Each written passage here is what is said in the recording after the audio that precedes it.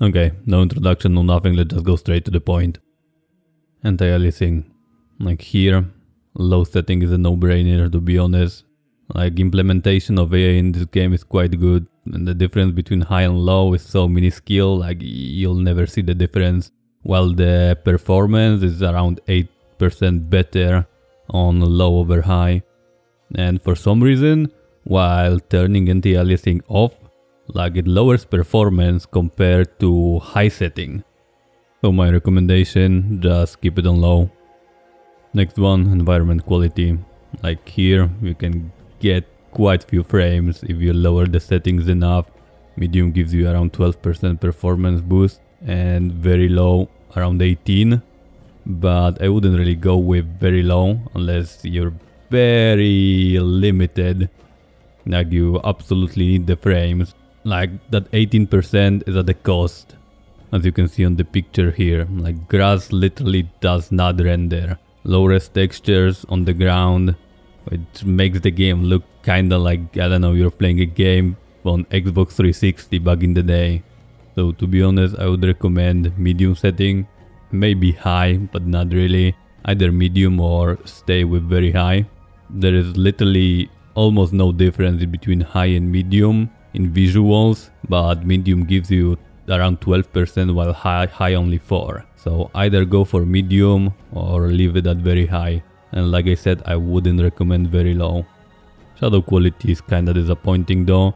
There is not a lot to gain here.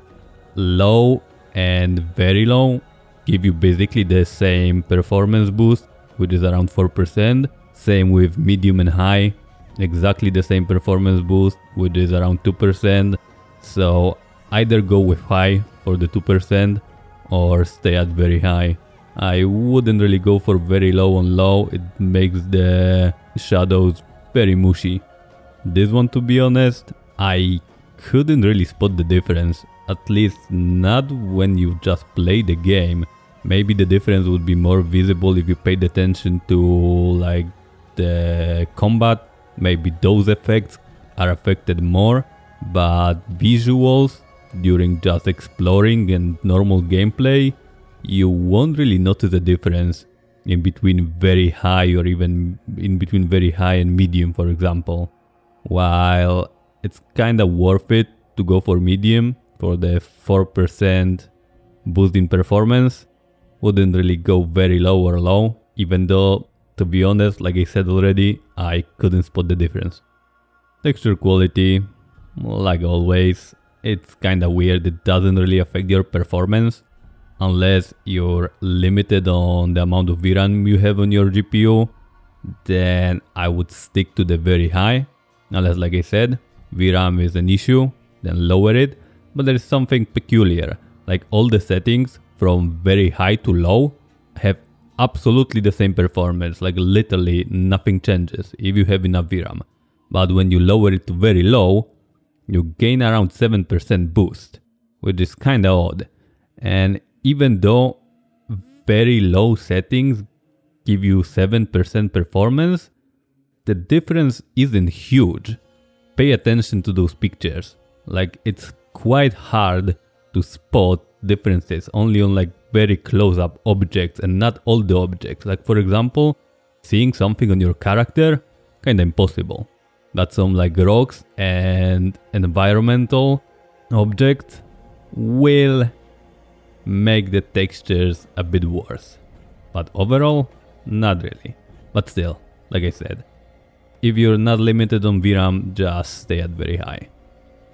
Unless you're hunting for frames, then go very low for the 7%. Now all those screen space reflections, ambient occlusion, motion blur, depth of field, they don't really give you anything. Like you can have around 1% when you turn them off, but I wouldn't really recommend turning off screen space reflections. That's just not worth it. The water is going to look like, I don't know, like paper instead of water if you turn it off for the 1%, not worth it. Same with ambient occlusion, stuff will just look flat with it turned off. And for the 1%, not really worth it. And if you are the kind of person that the kind of savage, excuse me, not a person, the kind of savage that prefers playing with motion blur, then you'll be happy to hear motion blur hits only around 1%. So yeah, play with your motion blur. Of field, of field only applies during cutscenes.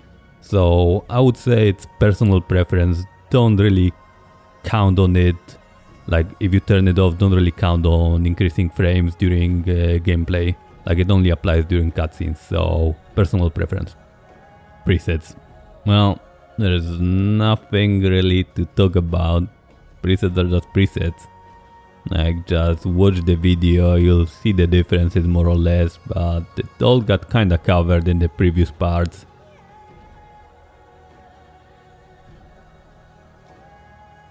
Uh, and the last part, the most important part in my opinion, that this table represents like all the settings and the performance you can get.